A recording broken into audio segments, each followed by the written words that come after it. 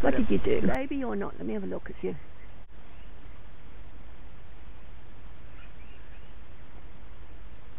She may have hit her head. I don't know at this stage.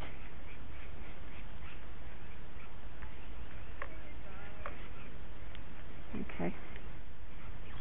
Oh look, I don't feel like chasing you around the tree. You could just. Do you mind if I chop bits of the tree off? Oh, good. That's what I'm going to do. To chop the bit that she's on. The fact that she's not um, trying to flap away means that she is in a bit of trouble. I just want to see, have you got a baby on you or not? Because I want to see that. Oh. Okay. I think she's been electrocuted. She's got a really bad... It's a boy. It's a boy. Yeah, it's alright.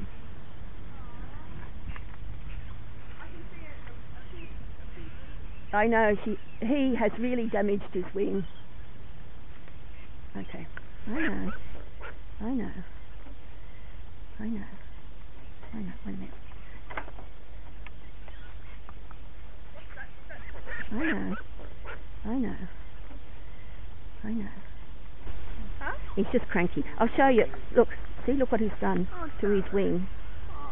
Now the bone will die underneath it because there's not a lot between the skin and the bone. There's not a lot of tissue. It's What like if someone kept it as a pet, can it survive then? um, it's not.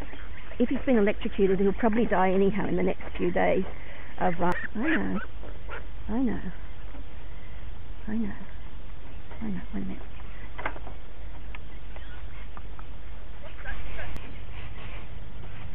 Okay, there we are.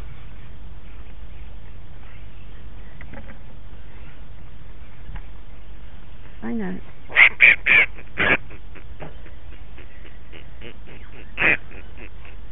Hold on to that over there for me, please. Skill, isn't it? Can you just give it to the other hand and put the passes now? No, I'll take him off to the vet and euthanize him. Uh, Personally, I'd prefer a death like that to, to what he's going to go through. He's never going to fly again. You can't keep them as pets and they're not happy. They've been wild, they're not happy as pets. Here. Taste it first. Okay. Now you're tasting it, alright? You don't have to savage it, just taste it. No. Good on you. There we are. So he's now having a drink. Oh, but he's sucking it out of the towel. He's a bit cranky. But see, the wrist will die, the thumb will die. So It'll be it'll be incredibly painful too, by the way. How does that happen? I mean, is it I'll when they touch a tree and touch the power line at the same Or time? they touch two power lines. Oh, But see that flowering? yeah. They like blossom, nectar and pollen. Now, yes. Now he's he's grinding his teeth because he's in pain, and he's really really distressed. Obviously, partly that he's been caught, but also because he's in a lot of pain and there's a lot of adrenaline going on. Hey mate, hey. I think we have to call him Rocky. We have to give him a name, Rocky. This is straight, roughly present. Yep. Goodbye, darling. And I'll cover him up and he'll actually settle down a bit once he can't see us.